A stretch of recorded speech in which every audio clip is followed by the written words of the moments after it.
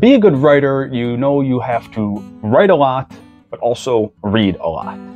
And this can be a problem in today's hectic world where everything is going on all at once and finding time to read, finding energy to read, finding the attention span to read can be a ton of work.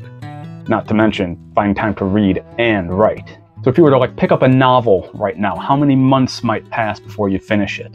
I'm lucky in that I'm an English teacher, so reading is actually part of my job, but I still have to squeeze and fight to find time to read stuff on my own. The good news is that you don't need to read War and Peace. How thick that thing is. You don't need to read War and Peace to get something out of your reading that can help you with your writing. You can find techniques to help you as a writer from reading one single, well written short story a short, short story at that.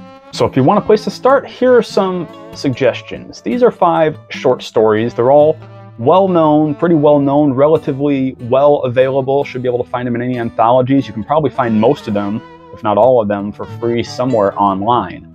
Pretty easy to find, and I've taught these stories to my English class and my creative writing class, and I've seen eye opening revelations in both of those classes from reading these stories, and I read them over and over again myself to help with my own writing. So even though these are very short stories, whatever genre you write, whether you're writing short stories or flash fiction or novels or novellas or screenplays or mini screenplays, TV shows, whatever your genre of storytelling, you're going to find something to help you in this little collection.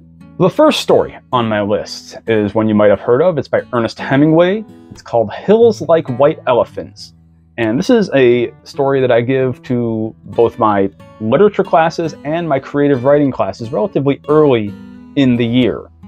For one, Hemingway is a good author to introduce early on, but for another, it really does help in terms of creative writing. It helps my creative writing students to see an example of a writer who can write about an important subject, about two people talking about an important subject, with nobody naming that important subject.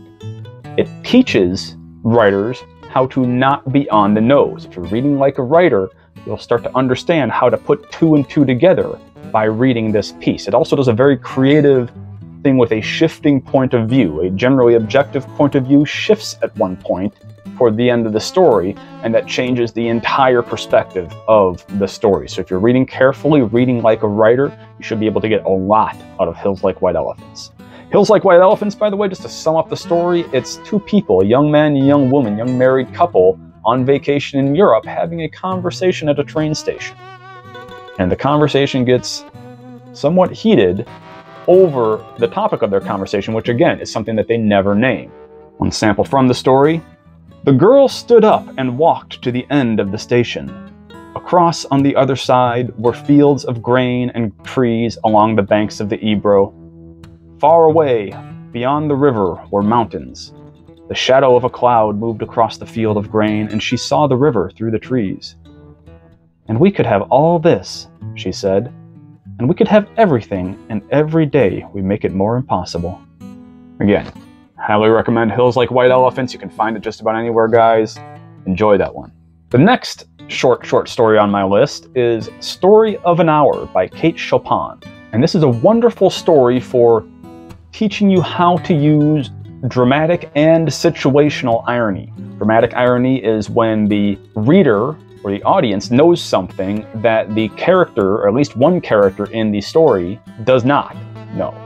So we know something that the characters don't. That's dramatic irony.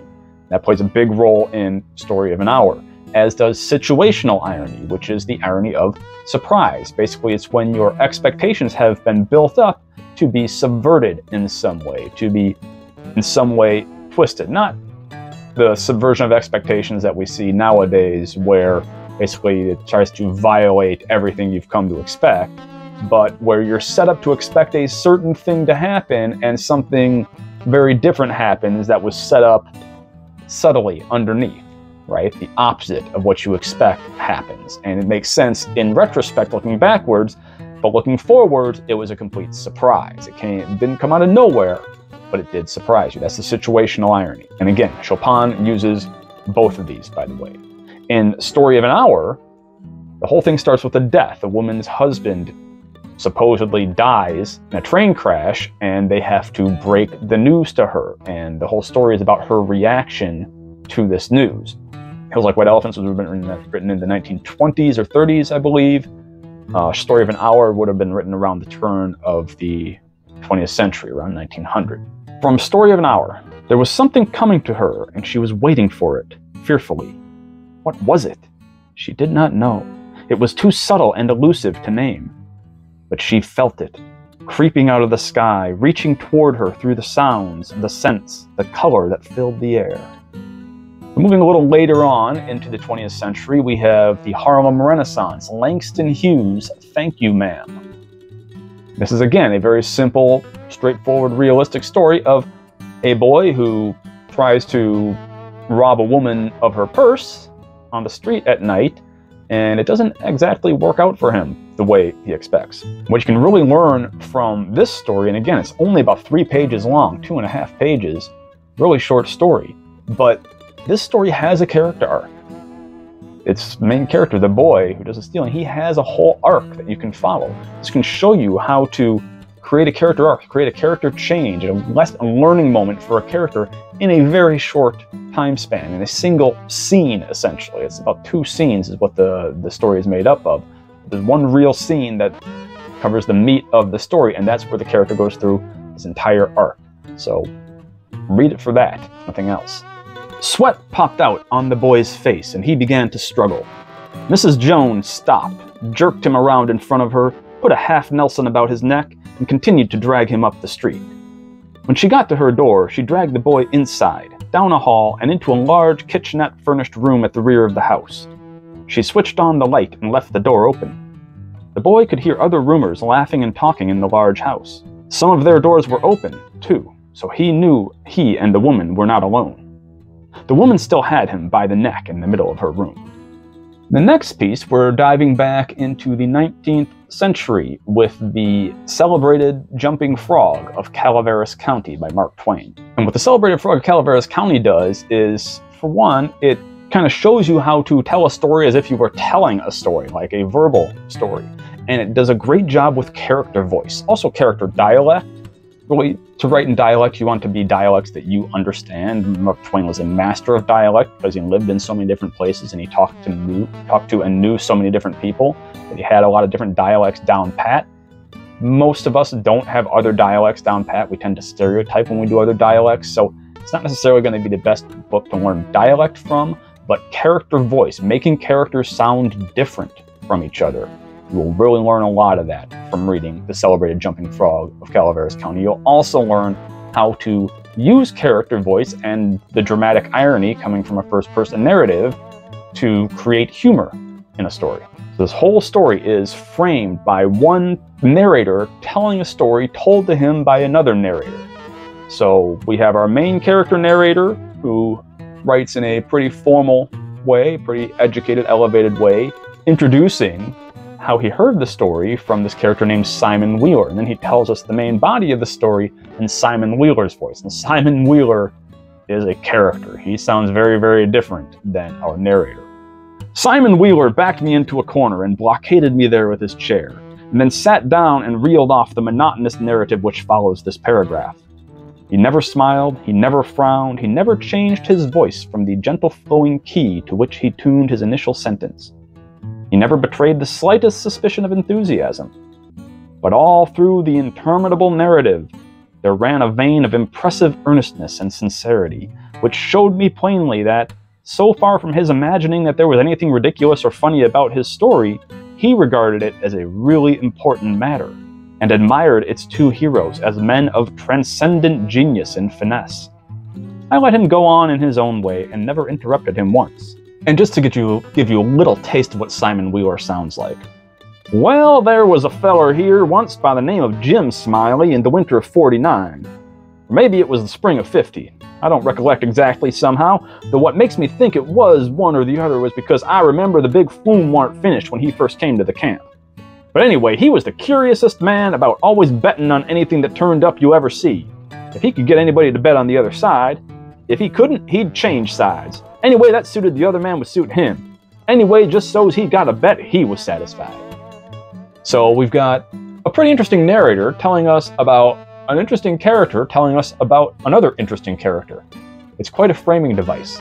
These are all various techniques you can pick up from Twain. And then, last but certainly not least, we have Edgar Allan Poe's The Telltale Heart. And I teach this story every year. I love this story. It's one of my all-time favorite short stories. I read this uh, to my son as a bedtime story when he came to visit me one time when he was about seven or eight years old. I got a call from his mom a week later telling me that he hadn't slept in a week. Thanks a lot for reading him The Telltale Heart. My bad. But it is that kind of story.